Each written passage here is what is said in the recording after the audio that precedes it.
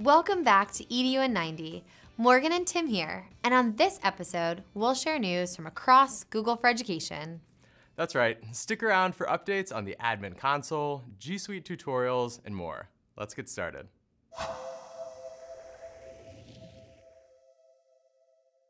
First up, some great news for IT leaders.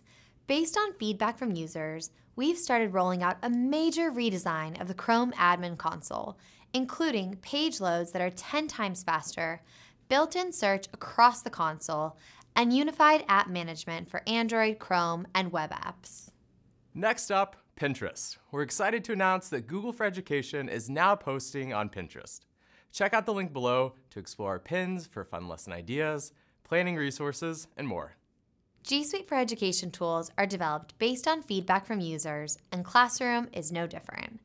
If you'd like to try out new features, check out the links below to join the beta programs for rubrics, originality reports, and more.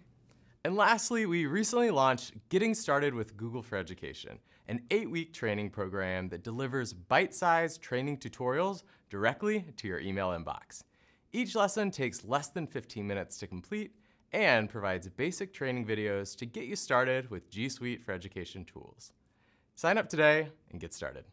Well, that does it for this round of updates. Check out the links below for additional resources and make sure that you're subscribed to the Google for Education YouTube channel for future episodes of EDU in 90. Google Classroom is turning five, and to celebrate, we're sharing five facts about the product that you might not know just yet. Check out our last episode to hear all about them.